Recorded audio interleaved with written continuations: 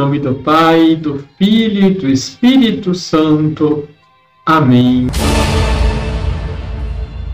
No Evangelho, Jesus convida-nos a rezar: Pedi e dar-se-vos-á, buscai e achareis, batei e abrir-se-vos-á. Mateus capítulo 7, versículo 7. Estas palavras de Jesus são extremamente preciosas, porque exprimem a relação entre Deus e o homem e respondem a um problema fundamental em toda a história das religiões e na vida pessoal. É justo e bom pedir algo a Deus, ou talvez seja o louvor, a adoração e a ação de graças, ou seja, a oração desinteressada, a única resposta adequada à transcendência e majestade de Deus, a ideia de Deus que Jesus nos transmite é diferente. O seu Deus está muito próximo do homem. Ele é um Deus bom e poderoso. Cardeal Ratzinger, em 1990, mais tarde, Bento XVI. Deixe o seu like, compartilhe. Liturgia, liturgia diária. A liturgia traz à nossa reflexão uma das formas de rezar, que é a oração de petição.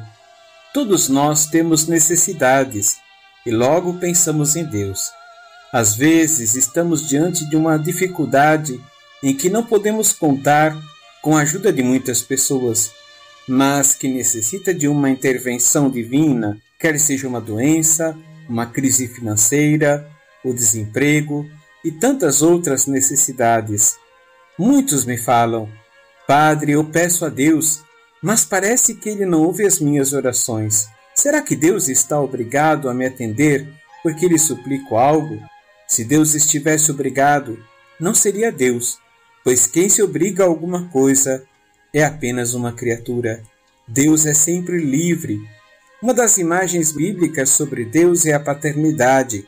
Ele, como Pai, sempre vai querer dar o melhor para nós. Ele nos ama e sabe das nossas necessidades, mas muitas vezes se faz necessário assumir a atitude do mendigo, isto é, precisamos reconhecer a nossa própria condição de fraqueza e dependência de Deus. Essa foi a atitude de Esther, uma jovem esposa que suplicou pelo bem e salvação do povo de Deus. Jesus, no Evangelho de Mateus, capítulo 7, versículos de 7 a 12, deixa-nos claro que Deus é nosso Pai. Ora, se Ele é nosso Pai, podemos seguir a sua exortação: Pedi-vos será dado, procurai e achareis, batei, a porta será aberta pois todo aquele que pede, recebe, quem procura, encontra, e quem bate a porta, será aberta. Em seguida, nos oferece dois exemplos: o do filho que pede pão e peixe ao pai. Ele, por amor ao filho, sempre lhe dará o melhor. A oração confiante e perseverante não se desilude, porque Deus só pode dar coisas boas a quem lhe pede, e Ele conhece as nossas necessidades. Na oração, mais do que apresentar os nossos desejos, nos abandonamos à Sua vontade.